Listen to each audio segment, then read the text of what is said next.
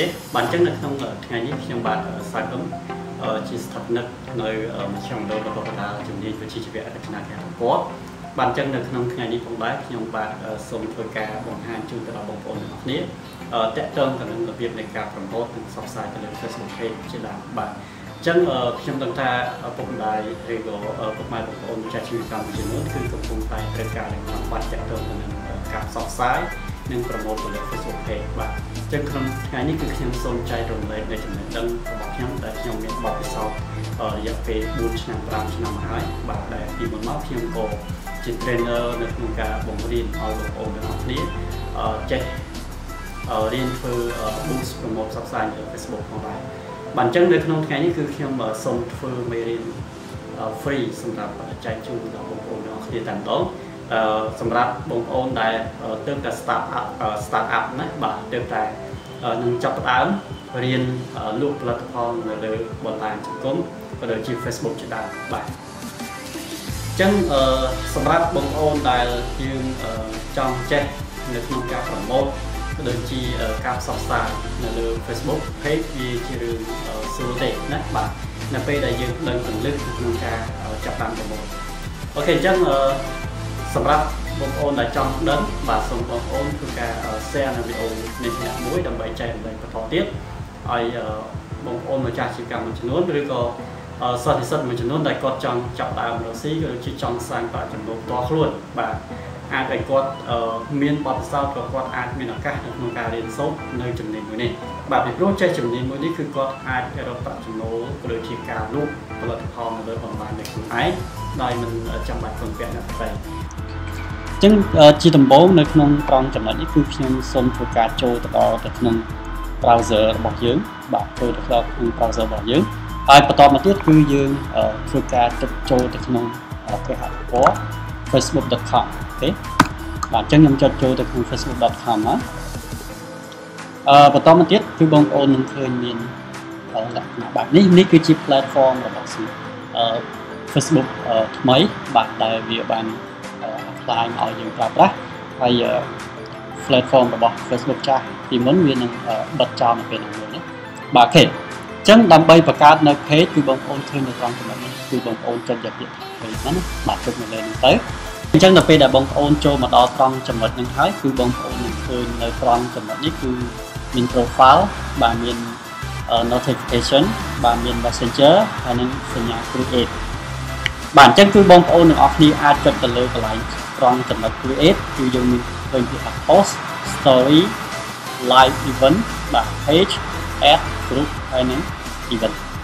បាទអញ្ចឹងអ្វីដែលយើងចង់បង្កើតនេះគឺយើងចង់បង្កើតនៅ Facebook page ណាបាទ Facebook page បាទអញ្ចឹងខ្ញុំនឹងបង្ហាញបងប្អូនទាំងអស់គ្នាទៀតថាតើ Facebook page អឺខុសពី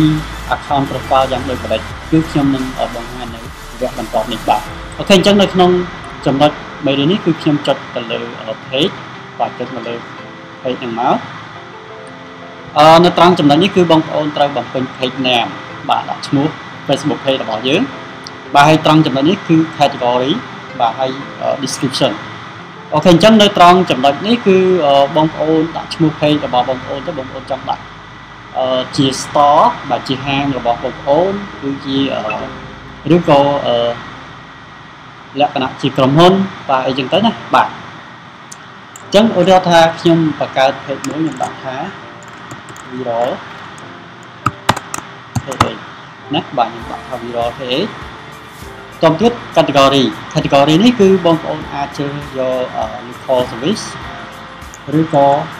អឺអីទៅតាក់ទងទៅនឹងខាងក្រុមហ៊ុនរបស់បងប្អូនណាបាទបងប្អូនអាច select ទៅកន្លែងខាងក្នុងខាងពូមានច្រើនណា បើសិនជាលក្ខណៈជា entertainment entertainment បាទបងប្អូនគាត់ទៅសេទៅគឺវា load មកកន្លែងនេះណាបាទឬក៏បងប្អូនលក្ខណៈបែបជា soft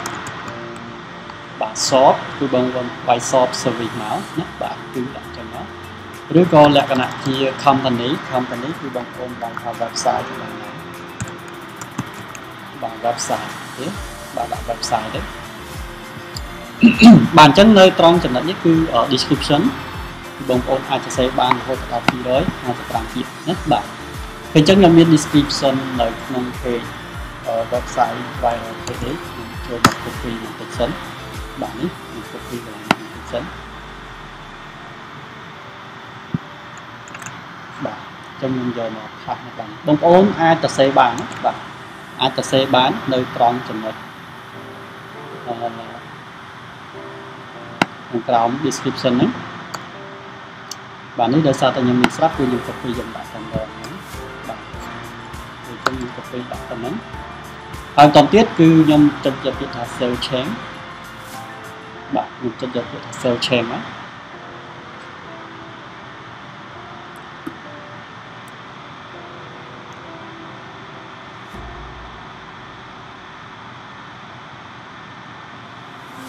OK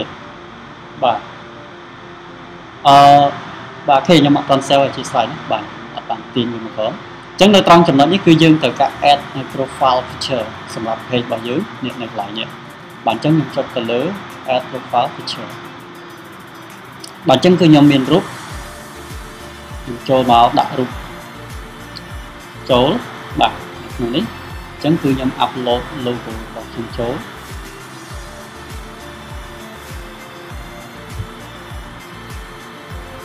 បាទបន្តទៀត cover បាទអញ្ចឹងខ្ញុំដាក់ cover បាទខ្ញុំសូមធ្វើការអ self cover ជាមួយ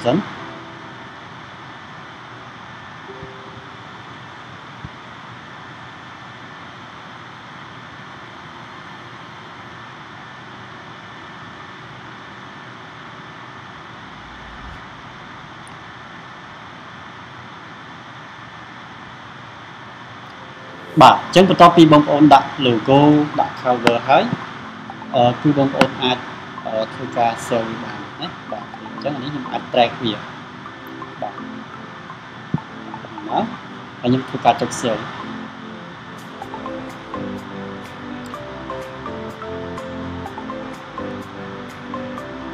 បាទអញ្ចឹងនៅក្នុងនេះគឺយើងបានធ្វើការ save រួចរាល់ហើយបាទ ដែរគឺវាអាចយកបានជាប់ណាបាទអញ្ចឹងយើងអាចចុចអឺ edit profile បាទបើសិនតែនៅបានជាប់ទៅគឺជា profile របស់យើងបាទយើងនឹងចុច save ណាអូខេបាទអញ្ចឹងនៅកន្លែងត្រង់ចំណុចនេះគឺយើង add button សម្រាប់ឲ្យអ្នកគេចូលមកទស្សនា page របស់យើងគេអាចធ្វើការតំណែងនៅតាម page របស់យើងបានបាទអញ្ចឹងខ្ញុំចុចទៅលើកន្លែង add button បាទអញ្ចឹងនៅត្រង់ចំណុច add button នេះគឺបងប្អូនចង់ឲ្យអតិថិជនរបស់បងប្អូន send message បាទចូលទៅក្នុង page របស់យើងយើង select យកឡើងឬក៏ចង់ឲ្យអតិថិជនរបស់យើងនឹងគឺអាចចូល watch នៅលើគេហទំព័ររបស់យើងយើងដាក់ stop នេះមកបាទឬក៏ follow ឬអីចឹងទៅណាបាទបាទអញ្ចឹងនៅកន្លែងនេះគឺខ្ញុំដាក់យកអឺ send message ណាបាទខ្ញុំចុច send message កន្លែងហ្នឹងទៅបាទអញ្ចឹងវានឹង load កន្លែងនេះចូលពាក្យថា send message បើអញ្ចឹងយើងចង់ edit ទៅក្រោយយើងគ្រាន់តែចុច edit ហើយយើងយកពាក្យថា edit button ហើយយើងរើស select លើ option អីផ្សេងចឹងទៅអញ្ចឹងណាបាទឬក៏បងប្អូនចង់ឲ្យគេ booking now បងប្អូនរើសយក booking now នេះណាបាទហើយ appoint appointment on Facebook ឬក៏ connect other tool ឬក៏ link to website បាទអញ្ចឹងបើសិនជាករណីបងប្អូន មានជាលក្ខណៈជា online shop មាន website គឺបងប្អូនរើសយកហ្នឹងគឺអត់ខុសទេណាបាទប៉ុន្តែបើសិនជាករណីយើងអត់មានទេយើងរើសយក send message ហ្នឹងទៅអូខេបាទអូខេអញ្ចឹងរបៀបនៃការបង្កើតនៅ Facebook page គឺខ្ញុំសូមធ្វើការបង្ហាញជូនទៅដល់ប៉ុណ្ណឹងបាទជូនបងប្អូនទាំងអស់គ្នាប៉ុណ្ណឹងហើយបងប្អូនទាំងអស់គ្នាគឺអាចយកទៅអនុវត្តតាមហើយខ្ញុំនឹងបង្ហាញបងប្អូននៅមេរៀនបន្តបន្តទៀតបាទសូមអរគុណ